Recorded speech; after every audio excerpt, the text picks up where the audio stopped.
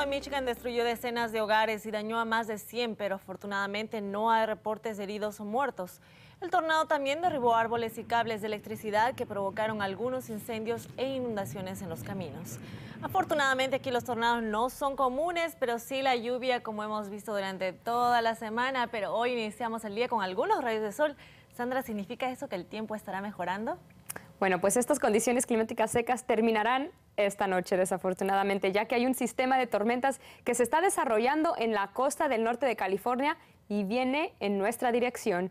Y bueno, llegará alrededor de las 8 de la noche, algo así, con una lluvia bastante estable. Esta noche las temperaturas bajarán a los 36 grados. Para mañana esperamos máximas alrededor de unos 50 grados. Lo bueno es que este sistema no es tan fuerte como las otras que hemos tenido esta semana. Vientos más ligeros y el nivel de nieve mañana se mantendrá alrededor de los mil pies de altura. El domingo sí esperamos una lluvia más estable y bueno, desafortunadamente hasta aguanieve vamos a ver aquí en el valle. Parece que el invierno no nos quiere soltar. Veamos más de cerca cómo van a estar las temperaturas alrededor de su ciudad para el día de mañana. 49 en Toronto y Vancouver, 50 en Portland, 49 también en Kelso, 50 en Scappoose, 48 allá en Hillsborough, 49 en McMinnville y al sur de nuestra región, 48 en Aurora y 49 grados en Salem. Y este es su pronóstico para los próximos cinco días.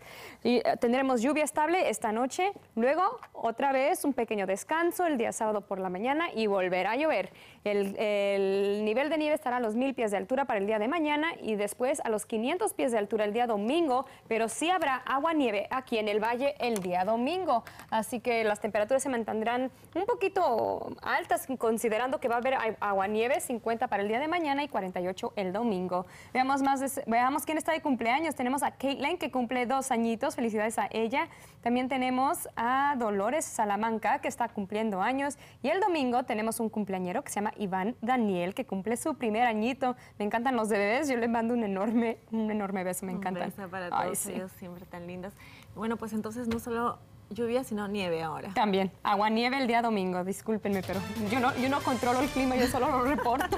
Especialmente los fines de semana, gracias Sandra. Es tu culpa.